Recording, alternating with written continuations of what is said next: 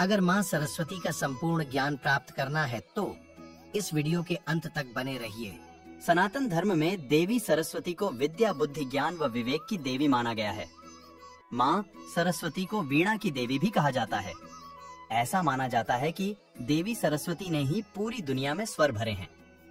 आपने अक्सर लोगों को कहते सुना होगा कि हमारे ज़ुबान पर कभी कभी सरस्वती बैठती हैं, और वह जो हम बोलते हैं, वह उस बात को सच करती हैं। इसलिए सलाह दी जाती है कि हमेशा शुभ शुभ ही बोलना चाहिए ऐसा माना जाता है कि 24 घंटे में एक बार माँ सरस्वती हर व्यक्ति की ज़ुबान पर ज़रूर आती हैं और उस दौरान व्यक्ति के द्वारा बोली गई कोई भी बात सच हो जाती है कई लोगों को काली ज़ुबान वाला कहा जाता है, क्योंकि उनके द्वारा कही गई अधिकतर बुरी बातें सच होने लगती हैं। वहीं दूसरी ओर किसी के द्वारा कही गई अच्छी बातें सच होती हैं। अधिकतर देखा जाता है कि जो व्यक्ति हमेशा नकारात्मक बातें करता है, उसके साथ नकारात्मक चीज़ें अधिक होती हैं।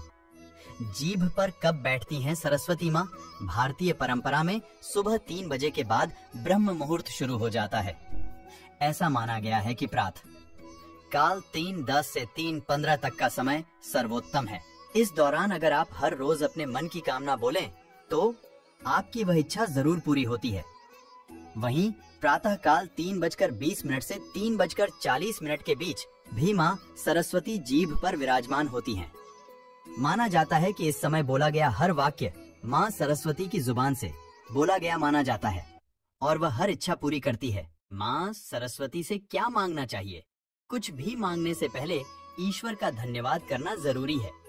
उसके बाद आपके जीवन में जो भी समस्या चल रही है, उसे कहते हुए उसका समाधान मांगे। उदाहरण के तौर पर आप कह सकते हैं कि मेरी सैलरी बढ़कर इतनी हो जाए। सरस्वती, माँ से ऐसी चीज़ ही मांगे जो पूरी हो सके।